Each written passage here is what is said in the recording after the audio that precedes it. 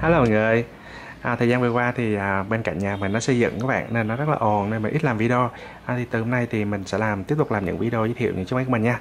À, Và chiếc máy hôm nay là G7X Mark II của Canon nha các bạn. Một chiếc máy rất là nổi tiếng trong cái giới làm vlog cũng như là những các bạn thích đi phượt thích chiếc máy nhỏ gọn này không cần sử dụng quá nhiều phụ kiện và vẫn có thể quay phim đẹp và chụp ảnh tốt. Máy này thì rất nổi tiếng rồi. À, Mình quay kỹ ngoại hình nha các bạn. À, Mình đánh giá là 98% chiếc máy này mình đánh giá là 98% nha à, những cái dòng này thì nó sản xuất tại Nhật các bạn nó rất là bền. À, máy chiếc này thì còn hộp nè à, pin sạc zin thẻ nhớ 32 GB à, giá mình bán à, nguyên bộ là 7 triệu 8 các bạn. 7 triệu 8 và máy mình bảo hành 3 tháng các bạn. Máy này thì nguyên zin 100% nha các bạn. Bạn thấy yên tâm. À, dòng này thì nó có tiếng Việt rồi các bạn nào mới chơi có thể dễ dàng à, à, sử dụng nó thôi dễ dàng tìm hiểu và dễ dàng à, tìm hiểu nó thôi máy có cảm ứng có wifi tất nhiên rồi cảm ứng wifi. À, một trong những điểm mà các bạn thích ở chiếc máy này nữa đó là cái màn hình lật có thể selfie như thế này.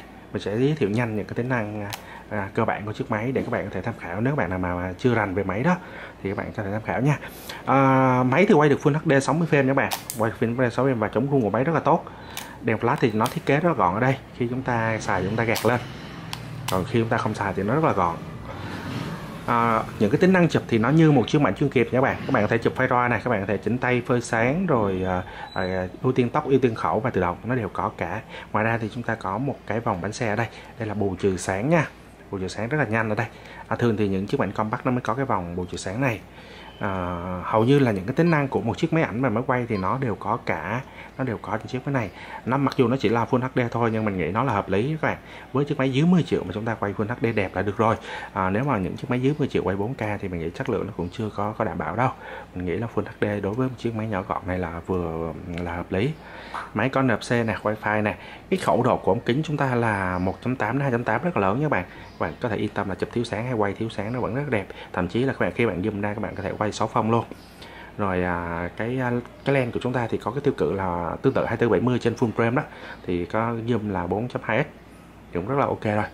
À, 24 nếu mà 24 4.2x à, có lẽ là 24105 nó rất là ok nha 24105 rồi. Máy còn rất mới các bạn mình đánh giá 98% này còn hộp và còn đầy đủ phụ kiện zin luôn và một cái thẻ nhớ 32 GB nữa giá là 7 triệu 8 thôi và nào nhu cầu về chiếc máy này liên hệ nha. Máy có cảm ứng nha các bạn. Dòng này rất là dễ quay các bạn. Dễ quay dễ chụp nè. Các bạn có thể view rồi nó lấy rất nhanh và ở ờ, khi các bạn không có gimbal các bạn quay trên tay thì nó chống rung rất là tốt nữa. À, mình nghĩ đây là một chiếc máy phù hợp. Bạn nào mới chơi thích nhỏ gọn vừa có thể chụp ảnh gia đình vừa có thể quay phim vừa có thể làm vlog hoặc là làm những clip để các bạn à, lưu lưu lại thôi hoặc là up facebook gì đó thì đối với một chiếc máy nhỏ gọn có thể làm được những điều này thì mình nghĩ nó hợp lý rồi về phần ống kính thì nó rất là đẹp các bạn. Cái phần ống kính này rất là quan trọng các bạn. Đó, ống kính nó chưa có chì xước hay mốc rễ cả. Còn khá là mới nha. Một chiếc máy mình theo mình nó cũng khá là, là tương đối hoàn hảo đối với chiếc máy đã qua sử dụng đó bạn.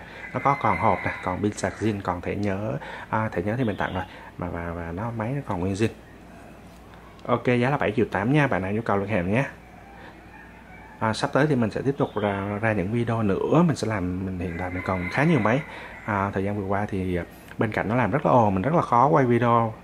Nên nay à, mình có lẽ sẽ cập nhật thường xuyên hơn. Các bạn nhớ đăng ký kênh của mình để tiếp tục xem những sản phẩm tiếp theo nhé.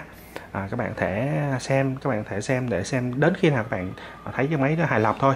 Hoặc là các bạn có thể tham khảo giá cũng như tình trạng của những chiếc máy hoặc là những cái tính năng của những chiếc máy à, trước khi các bạn có thể chọn được chiếc máy nó phù hợp à, với mình nhất nhé. Ok cảm ơn đã nghe video này. Mình kết thúc đây nhé. À, xin chào và lại nhé.